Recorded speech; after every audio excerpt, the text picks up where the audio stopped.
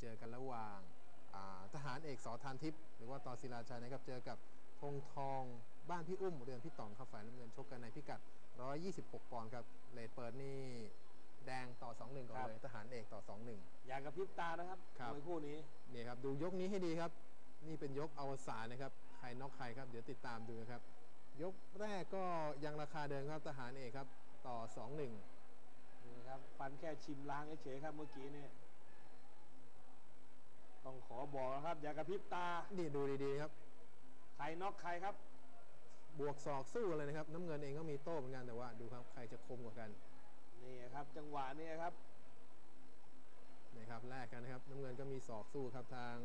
อ่าธงโอ้ทโหองแม้ว่าทหารเอกครับ ดักแม่นกว่าครับ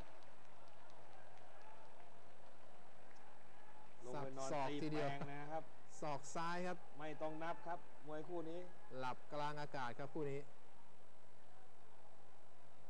อื้อหือนี่ครับเดี๋ยวดูภาพช้าอีกครั้งครับ ฟันเขาได้แต่เขาฟันคืน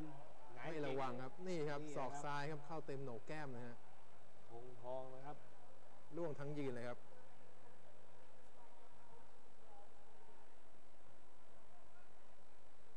ดังลั่นสนั่นเวทีเลย โชะเดียวครับ เดี๋ยวไปดูข้างหลังครับ